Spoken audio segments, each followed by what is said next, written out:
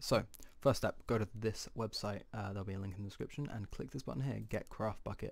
While that's downloading, what you can do is uh, go onto your desktop and make a new folder, call it whatever you want, so I'm going to call it carrot because that's what I started typing. When that file's finished downloading, you just want to drag and drop that into the folder that you just made, and then open it up and create a new text document. Call this whatever you want.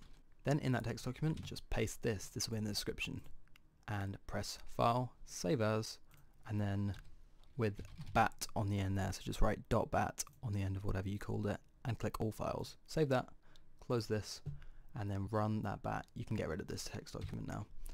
If it doesn't run, just make sure you right click on this and rename it to just say craftbukkit, just like that, and then run it again. There you go. That'll stop running and you'll have to open the EULA thing and change this false bit to say true. If I could type. There we go. And save that. Then rerun it and just let it do its thing.